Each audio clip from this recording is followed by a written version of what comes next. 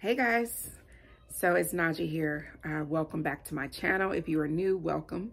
I am so glad that you have stopped by. Um, if you are returning, thank you so much for coming back to hear whatever it is that God has shared with me for this time and this season.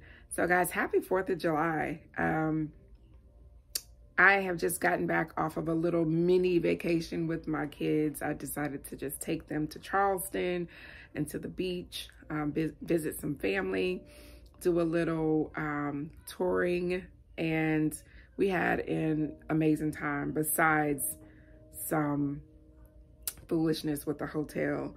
I swear, it's like, it's so hard to get good customer service these days, but nonetheless, we made the best of it and I'm just excited to now get ready to go and spend more time with friends and family for um, the holiday, get some good food. So I wanted to share what God shared with me on yesterday during my study time. And um, so I'm going to go ahead and get into that. Um, let's see. Do I have any announcements or anything to share? Uh, let's see, let's see, let's see. Well, let's just say this. First and foremost, any eyewear that you guys see me wear, for those of you who are new here, not familiar with it, I have my own eyewear line. It's called Kingdom Vision. You can always find whatever pair that I'm wearing or the link will always be in the description box of each video. Okay, guys? So, I have on my red frames because I'm wearing red today. Not really wearing red, white, and blue, but just decided to wear red. So, so before getting started, I'm going to go ahead and get into a quick prayer. Okay, guys? Thank you, Father God. Thank you, Holy Spirit. Thank you, Jesus. Thank you, Jesus. Thank you, Jesus. We invite you into this message. I thank you, Father, for sharing everything that you shared with me. I thank you, Father God, for allowing me to continue to be a vessel. Although I am not perfect, Father God, I thank you that you correct me and you lead me on a daily basis. You remove me, my selfishness, anything that is not of you, and you replace your Holy Spirit to correct and to guide on a daily basis, Father God. And I pray that you do the same for those who are watching this this video lord god anything that is in this message that is for them i pray that they receive it I pray that they know that it is from you. They take it to you for confirmation, Father God. They remove the veil and they allow those blessings that you were trying to get to them to be uh, brought into their lives, Lord God. In Jesus' mighty name, I thank you. I thank you for your mercy and your grace. In Jesus' name, amen. Okay, guys. So, um, God started me out in uh, Numbers. Numbers chapter 33, verse 1. So I will read that uh, scripture here. It is labeled Israel's Journey from Egypt Reviewed. These are the journeys of the children of Israel who went out of the land of Egypt by their armies under the hand of Moses and Aaron.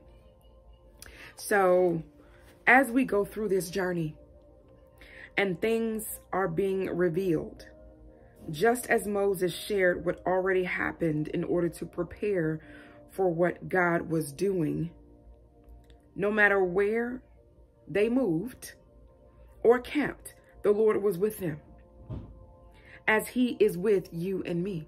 No matter where he tells us to move, no matter where he tells us to be still and be camped, he is with us the entire time, no matter how quiet he is, no matter how much we don't understand where we're supposed to be going, what we're supposed to be doing, he is there there um, is always going to be a season where God is going to speak to us and give us direction. And then there's times where we may not hear anything. And if we don't hear anything, that just means that he wants us to be quiet. Um, not want us to be quiet. He wants us to be still. Sometimes that does require us to be quiet, but he wants us to be still and know that he's there regardless of what it looks like, whether we are moving or whether we are camped. There is a pregnancy, a pregnancy, um, things that are being birthed, okay? A divine blessing being unveiled, just as in Genesis 1:28. And it reads, and God blessed them, And God said unto them, Be fruitful and multiply and replenish the earth and subdue it and have dominion over the fish of the sea and over the fowl of the air and over every living thing that move the upon the earth. So basically, in this in this time frame, what he is wanting us to recognize that as we are going through this journey and things are being revealed to us, okay? Things that are being revealed that have already happened and to prepare us for those things that are being unveiled, that are being um, birthed. We need to make sure, we need to make sure, okay, that we do not forget the things that God has placed over our spirits, over our hearts, the things that he has already spoken to us. Okay. Sometimes we may hear things that God has spoken to us. And as we are in the midst of the thing, as we're on that journey, we forget the things that has already been revealed, the things that have already happened that needed to happen in order to, to birth the new things that are coming. We forget. So in Psalms 51, 5, it states, Behold, I was brought forth in iniquity and in sin. My mother conceived me. This basically just uh, references that how it's constantly affirmed in scripture of hereditary corruption and the innate proneness to sin in every child of man. So we must have a prayer of repentance to our Lord when we fall short because we will fall short. So as we're going through this journey and as things begin to feel as if, as if it's hard, as if it's a strain, as if uh, we begin to become weary, we're looking for those things to be birthed that we know God has promised us and we're not seeing it. Sometimes in the midst of that, we fall into sin and we don't even recognize that we're falling into sin. Sin doesn't always mean an act of intentional um, betrayal or rebellion. Sin can sometimes just be our mindset, okay? We can fall into sin by coming out of an agreement with what God has already shown us and told us. We come out of an agreement by, in our mind, thinking, this isn't never going to happen. It's okay if it doesn't. When you know that God may have already spoken to you what he said he was going to do, what he said he was going to birth what he has already revealed to you in order to prepare you for the things that are to come. He's already said to you that he's there. He's already shown you or given you some form of idea of what he's trying to do in your life. But right now you're in that waiting season. So while you're in that waiting season, you may allow your mindset to go into a negative state to go into a form of depression, sadness, weariness, go into a uh, headspace of just feeling like God isn't there. God isn't talking to me. He isn't revealing these things to me. He's forgotten me. He's walked away from me. And without even realizing it, those things, when we come into the agreement of that mindset, it actually is allowing us to somewhat come into a, an agreement with what Satan has placed in our minds. Because those thoughts and that type of thought process did not come from our Father. So where did it come from? It comes from the enemy in order to get you out of an agreement that God has already placed in your spirit. When you come out of an agreement with what God has already said is yours, what God has already said is coming, and he's already revealed certain things to you, but we happen to get into our own way by thinking, okay, well, maybe what it was that God told me wasn't God. Maybe it was me. Maybe it's just because I want and desire these things so much that I thought it was God.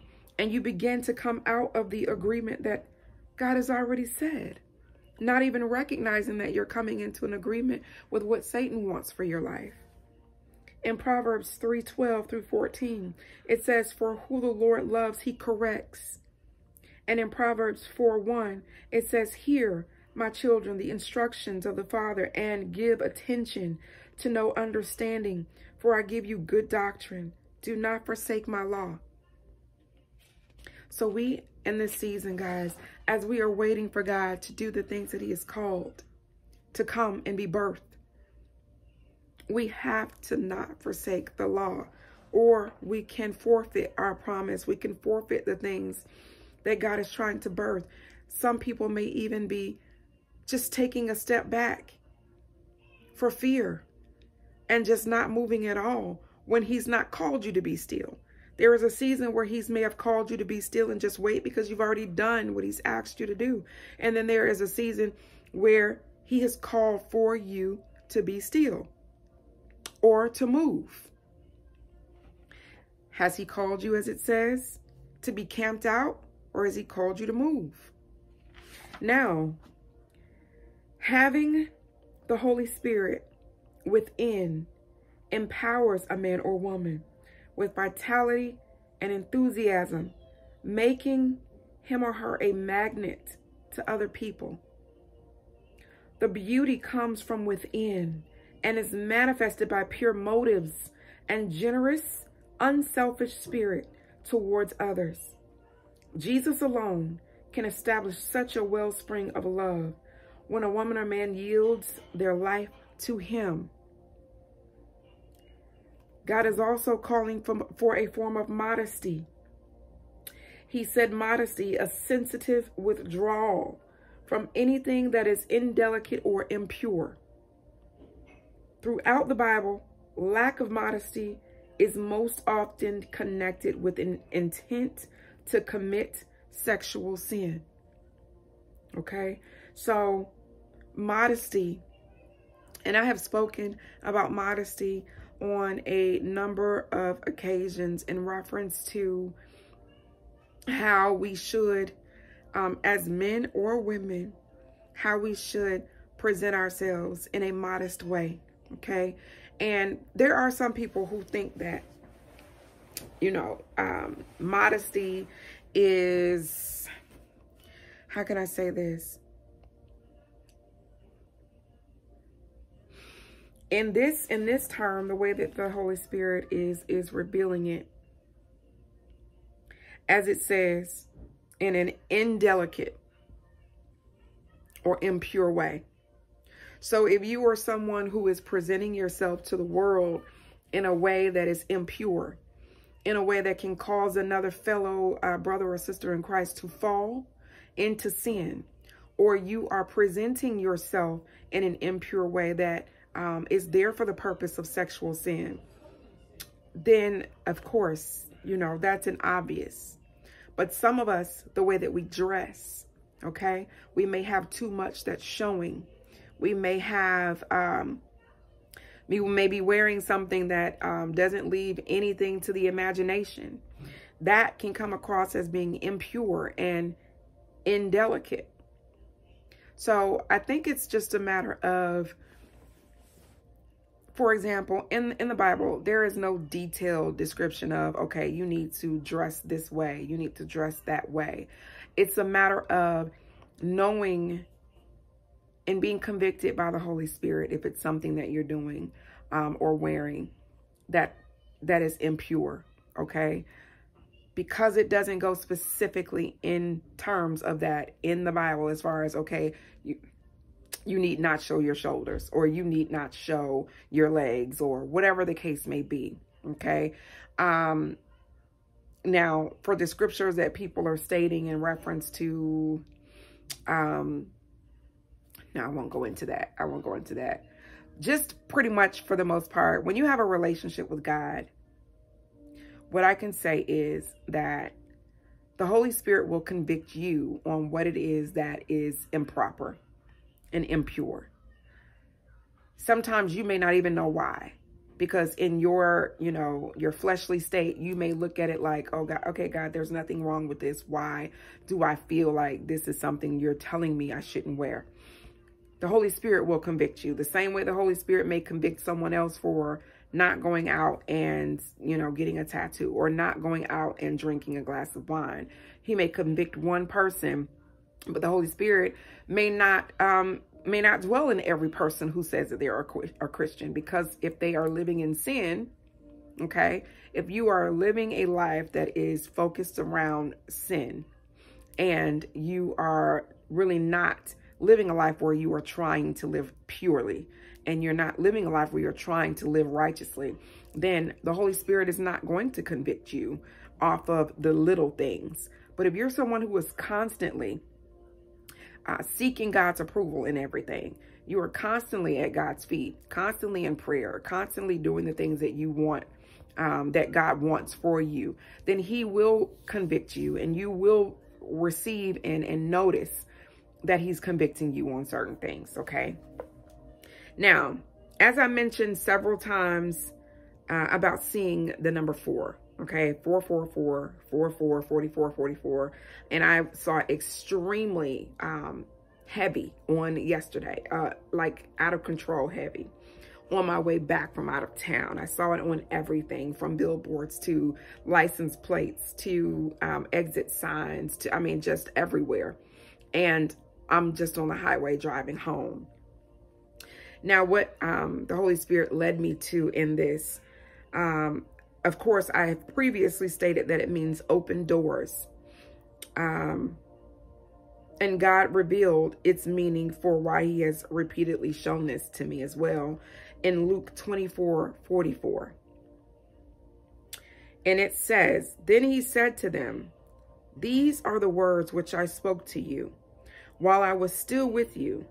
What all things must be fulfilled which were written in the law of Moses and the prophets and the Psalms concerning me.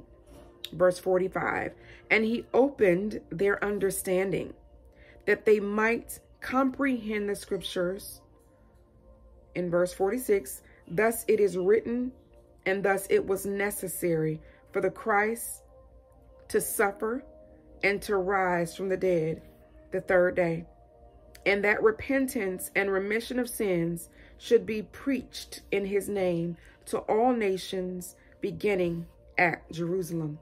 And you are witnesses of these things. Behold, I send the promise of my Father upon you but tarry in the city of Jerusalem until you are endued with power from on high. So basically, as it states, is that the Father is going to bring a, a stronger understanding so that you might, we may comprehend the scriptures. We may comprehend the scriptures like we never have before.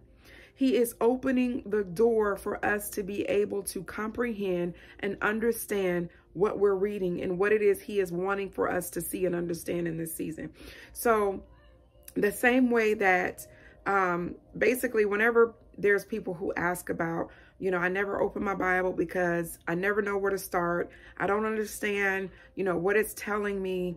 I'm not sure what God is trying to say because this scripture you know, the scriptures seem like it's from so long ago and it's not relating to me and whatever the case may be. People are just intimidated to open the Bible, which I was at one time as well, because I did not understand how it related to, to, to today.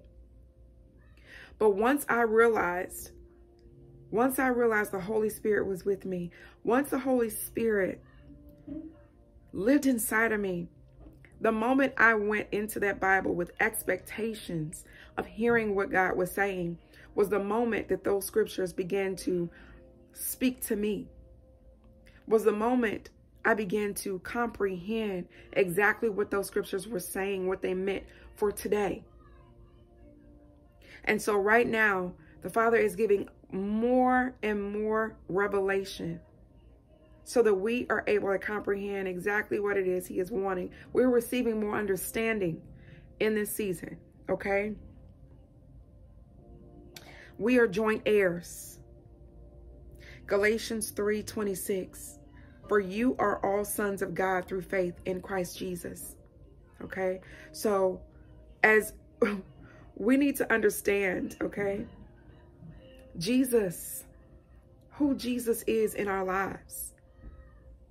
And because of him dying on the cross for our sins, we are joint heirs. We are all sons of God through the faith in Jesus Christ. So through our faith in believing in him, okay, we are joint heirs. We are all sons of God. We all can possess this knowledge and this power through the Holy Spirit that is being um, placed upon the body of Christ right now.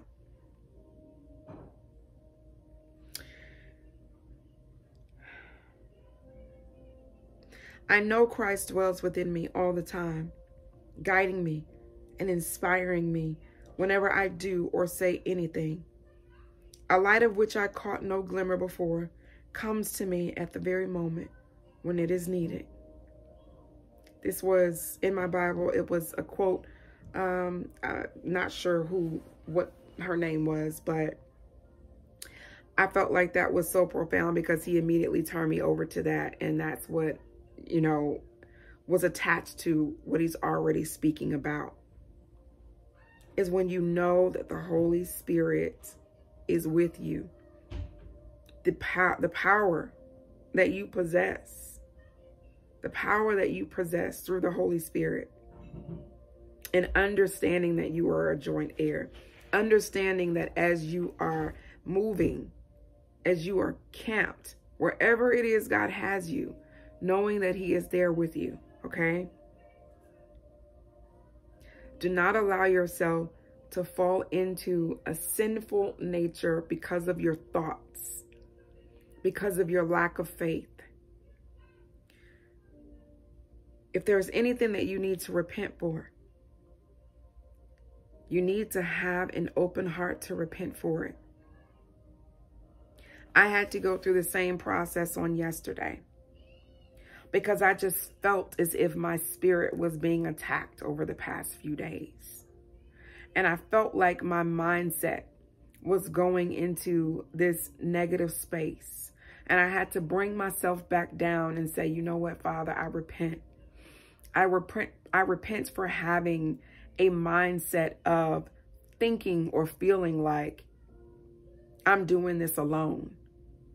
Or for thinking or feeling like where you have me, that I'm confused and you you aren't doing what you said you were going to do. Wherever your mindset is going, even if you don't speak those things out of your mouth, you got to be careful about how you are viewing what God is doing in your life. Because even if you're not speaking it out of your mouth, God knows that there is a lack of faith there by what you're thinking we need to be sure because most of the time, the things that we think, we actually speak them out of our mouths and we don't even realize that we've spoken them out of our mouths. We don't even realize that we have just come into an agreement with what the enemy has already said was, was you know, what the, th the thoughts that the enemy has implanted into your mind. Sometimes we don't even realize that we have spoken those things and come into agreement with what the enemy has already said to us or try to speak over our lives. Is it easy? Not always. Absolutely not. It is definitely not always easy. Warfare. I know that there is some warfare that is going on because I have felt it over the past two days.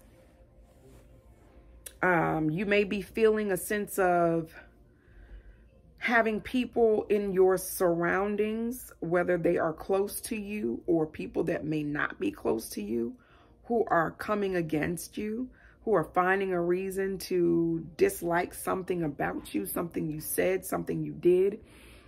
And it is an attempt or an attack of the enemy that is trying to get you to second guess what it is that the Father is trying to do in your life.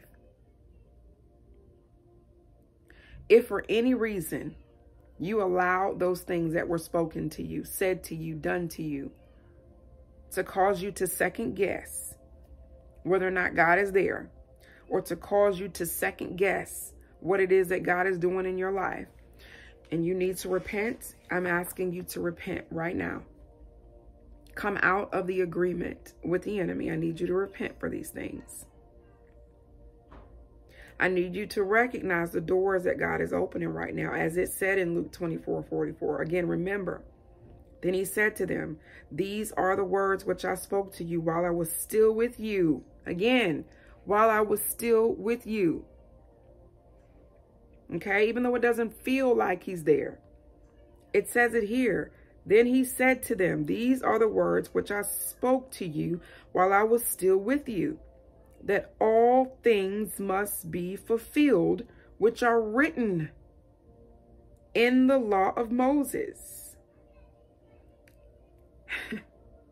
and the prophets and the Psalms concerning me. And he opened their understanding that they might comprehend the scriptures.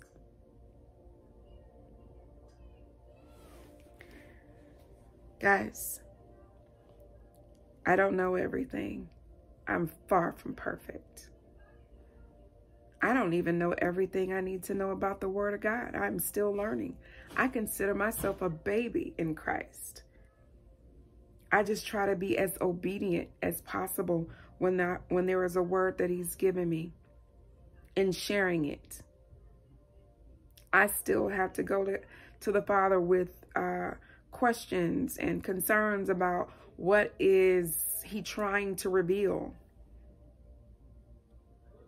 There are many times that I have nights up of crying and and and pleading with God to reveal to me what he has for me, what it is that he's wanting me to know and do in this time. I share the things that he wants me to share because I don't want anyone else to be um, in a headspace of confusion. Although you still need to go to God, although he still needs to, you know, reveal things to you individually. It is important that we all have a relationship with him individually. Because one thing that may be for you may not be for the next person. And there may be multiple things that may be confirmation in this word that are completely different for each of you.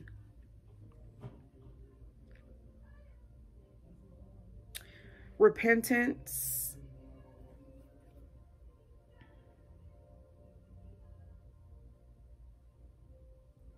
Repentance. Okay, guys. I hope this made sense to you guys because I get word in different chunks as I am studying and and I write them um, pretty much how I think that God is trying to reveal it into more of a um, a message that goes together. Okay, typically it always still has something to do with each other and then sometimes he might just flip the script and go to something completely opposite. But for the most part, I think it's pretty obvious what he is revealing here. Okay? We just need to make sure that we understand that no matter where we are in our journey, because we are all in different places in our journey, that he's with us. Okay? Understand that he's with us, whether you're being still or whether you're moving. I don't want to sound like I'm repeating myself over and over again, but I'm just trying to get that through um, to people. His ways are not our ways. His thoughts are not our thoughts. So even if in our mindset, we might think that he's not there. We may not, we may think that he's not, he's not doing things behind the scenes, but he is. Even if he told us to be still, that doesn't mean he's being still. Okay? He is still moving. He's always moving. Those divine blessings are being unveiled. Those divine blessings that he has told us about and has already um, revealed to us, okay? They are being unveiled.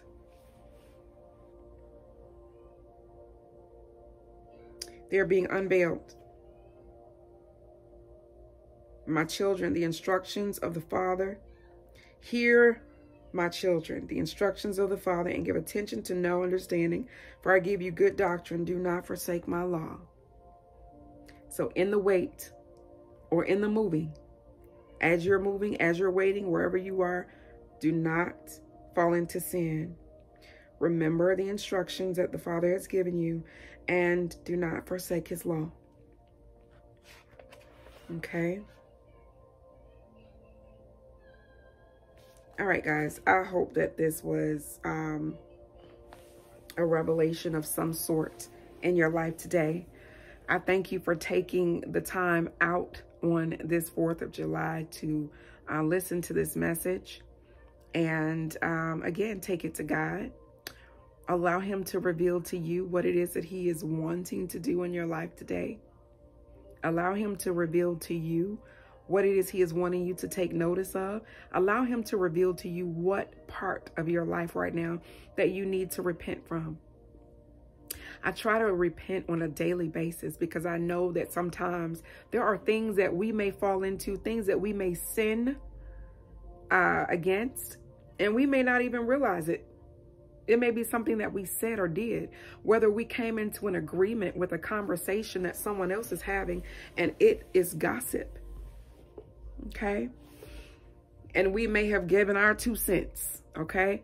Abba may be telling you to repent. And I've had to do the same thing because it is sometimes we do it unknowingly, especially if we have people in our lives that don't have a problem with continuously having a conversation about someone else's life and what they're doing, not doing, how they look, how they, you know, move, you know, and, and if that person is always revealing certain things to you, sometimes it can be a little hard for you to recognize, okay, let me change the subject or let me not engage in this conversation. Sometimes it's not for us to speak against them and what they're doing, just not to take part in it. Okay. Um, so I'm saying this just to say, allow the Holy Spirit to reveal to you in what area that you need to maybe pay attention to and make sure that um, we're not falling into any sin unnecessarily while we're waiting for these blessings to be unveiled and to be brought into our lives. Stay in a in a in a place of repentance. Even the enemy has even like any little small door, any little small door that some of us may feel like is not really that big. It may not be that big of a deal. It still is a small door that can allow the enemy to come in. It can be something as simple. And I am speaking about myself here, okay? um, even on the way out of town. You know, where the enemy will speak to your ear and say, oh, it, you know, you're, you're driving a long way. It's okay if you listen to a little, you know, R&B, love songs, this and that, whatever the case may be, right? And um, I found myself having to repeatedly skip multiple songs because they were speaking directly about sex.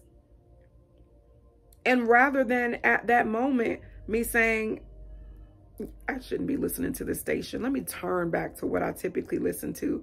I just would skip the song and keep listening to different things. And I'm like, the Holy Spirit convicted me. The Holy Spirit convicted me. And I had to repent for it. And I had to also mention it to my my children. Because it's one of those things where we are being looked at. We are being looked at.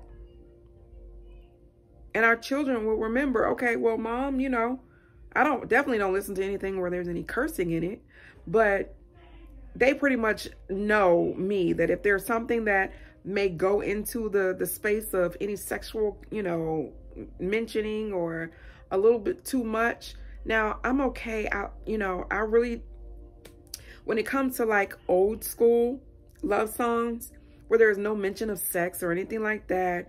It's just old school love songs like Celine Dion, something like that. It's it's clean. Um, you know, I will typically be okay with listening to that or jazz or something like that. But the old school uh 90s R&B that I used to listen to, when that thing, when that stuff came up and it reminded me of my childhood that I used to listen to and love, I'm thinking to myself like, oh my God, I used to listen to this. My parents used to let me listen to this. And you know, we wonder why we had certain struggles when it came to dating and relationships and, you know, not knowing how to uh, remain pure because we were listening and feeding that, that stuff into our spirit. And so if we are not married and we are believing for marriage, then we can't feed things that are discussing sexual things into our spirit because what it will do is when it when someone else comes around the things that have been been been um, spoken into our spirit that we've listened to we won't even realize where the desires to be touched to be kissed all of these things will come from when someone comes into our life. It will be harder for us to even be pure because of the things that we've fed our spirits. I hope that makes sense, guys. Um, like I said, I don't mind sharing the things that I deal with because I know that the things that I deal with, everybody else is, uh, you know, a lot of other people are dealing with it as well. So I am an open book okay? And um, I know that God allows me to deal with certain things because I am there to be an example. I am there to share my story in hopes that it helps someone else. So if you've been battling in, any way with whether or not you should be listening to something, then you may want to um, pray about it because the Holy Spirit probably has already been convicting you about it whether it's listening to music, whether it's certain movies that you're watching, um, whether it's certain television shows that you're watching where there is references of homosexuality or references of sexual um, things. And it may be too much of that there where you can't even really enjoy the show or the movie. And it's, it's clearly not modest. It's clearly impure. Then we need to make sure that we are guarding, okay? guarding what we watch, guarding what we listen to. And those doors, there are those are little small windows that the enemy will still use to climb on in and influence. Okay, guys. So I hope that made sense. I always say that. I hope that made sense. I hope that made sense. Because the things that I think in my mind, I try to, you know, speak what I'm, you know, what, what the Holy Spirit is placed in my spirit and in my mind to say. And um, I want to make sure that it comes across the same way that the Holy Spirit is revealed because I want to completely remove, you know, me and I want the Holy Spirit to reveal it to you guys the way he wants it to be revealed. All right. I love you guys. I'm going to let you get back to your family and your cookout and your good food. And I'm about to go eat good. I just made some peach cobbler and some baked beans that I'm taking over to a friend's house with my kids. And we're just going to enjoy um, this family time. So I pray that you guys enjoy the rest of your holiday weekend. And I will see you back here um, possibly tomorrow. All right. I love you guys. Bye.